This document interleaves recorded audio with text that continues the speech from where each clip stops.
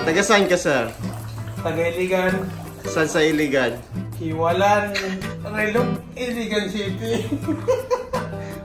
Okay, nagbabakasyon ka dito sa, ano mo, hotel mo ngayon? Oo, Magkano yung ah, per night naman dito?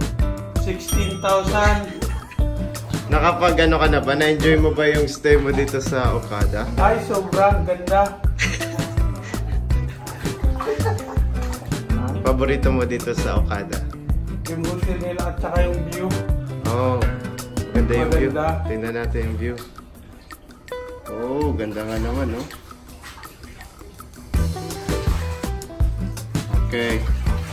Paalam na muna tayo kay Mr. Mohamed. Ah, sir, taga saan ka po? Ano to sabihin natin?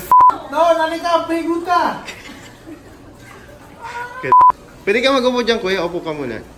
Mainit to eh. Ah, mainit talaga. Sige, taga saan ka, sir? Taga marami po.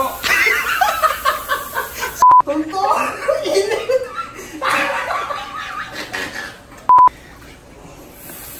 Dadagdag kami tubig. Mainit yan. Hindi.